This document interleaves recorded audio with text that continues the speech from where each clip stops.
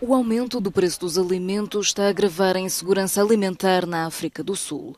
Uma crise que volta a agitar o fantasma da insurreição de há um ano e que, de acordo com a organização Food Forward, todos os meses vede o acesso de 30 milhões de pessoas a produtos alimentares básicos. We are in a food security crisis in South Africa and uh, we are finding people presenting with malnutrition in the Eastern Cape earlier on this year.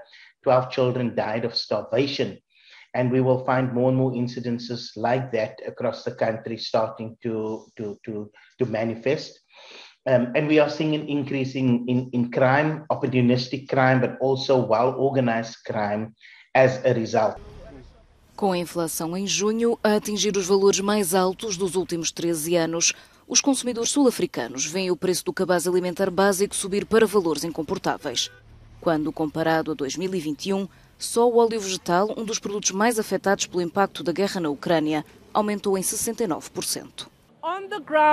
No terreno, os consumidores dizem que a carteira já não dá para os meios de subsistência.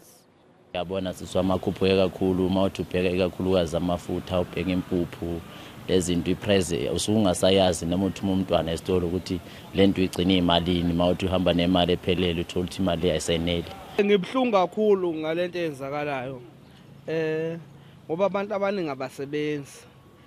Fikile i-covid-19 yaqeda imisebenzi. Manje masakhuphukelwa ukudla kwafika i-looting lapha amakhampani namanje sisenenkinga. Okay-ke kodwa abantu bayalayeka njengoba ukudla kukhuphuka kangaka. Ubani wathi abantu abayeke ukulima?